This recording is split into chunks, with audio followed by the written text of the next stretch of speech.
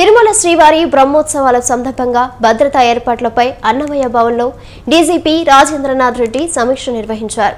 పద్దెనిమిదిన ముఖ్యమంత్రి పర్యటన నేపథ్యంలో ఎటువంటి ఏర్పాట్లు చేయాలని వాటిపై చర్చించారు. శ్రీవారి వార్షిక బ్రహ్మోత్సవాలకు కట్టుదిట్టమైన భద్రతా ఏర్పాట్లు చేశామని ఆరు మంది ఎస్సీలతో సహా నలభై తొమ్మిది మంది సిబ్బందితో భద్రతా ఏర్పాట్లు చేశామని డీజీపీ తెలిపారు. తిరుమలలో భక్తుల రద్దీ పెరిగితే తిరుపతిలోనే ట్రాఫిక్ నియంత్రణ చేస్తామని తిరుపతిలో మూడు ప్రాంతాలలో పార్కింగ్ సౌకర్యం కల్పిస్తామని అన్నారు. నాలుగు మాడవీధులలో ప్రత్యేక భద్రతా ఏర్పాట్లు చేశామని అదేవిధంగా దొంగతనాలను అరికట్టడానికి ప్రత్యేకంగా క్రైమ్ టీంలను ఏర్పాటు చేశామని చెప్పారు. భద్రతా ఏర్పాట్ల కోసం డ్రోన్ కెమెరాలు వినియోగిస్తామని డీజీపీ తెలిపారు.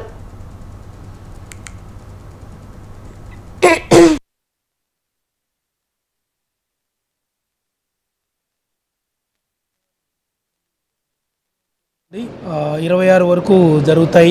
దీనికి ఎలాబరేట్గా బందోబస్తు అరేంజ్మెంట్లు చేశాము. అయితే ఆఫీసర్స్ కూడా దీనికి సంబంధించి ఇప్పుడే బ్రీఫింగ్ ఇచ్చాం. ఎవరు ఎక్కడ ఏ డ్యూటీలు ఎవరు ఏ విధంగా సక్రమంగా నిర్వహించాల్సిందో వాళ్ళకు విపులంగా ఇవ్వడం జరిగింది. అట్లే ఒక ఆరు మంది సూపరింటెండెంట్స్ ఆఫ్ పోలీస్ తర్వాత తొమ్మిది మంది అడిషనల్ ఎస్పీలతోనూ నలభై మూడు మంది డిఎస్పీలతోనూ నూట నలభై ఆరు మంది సిఏలతోనూ four hundred and twenty nine SIs nine hundred twenty seven twenty six HCs ASIs తోను తర్వాత two thousand four five hundred and forty three పీసీలతోను own పీసీలు ఒక నూట డెబ్బై ఒకటి హోమ్ గార్డ్స్ ఒక సెవెంటీ నైన్ స్పెషల్ పార్టీలు టోటల్గా ఒక ఐదు వందల నలభై మందితోను తర్వాత మొత్తం ఈ విధంగా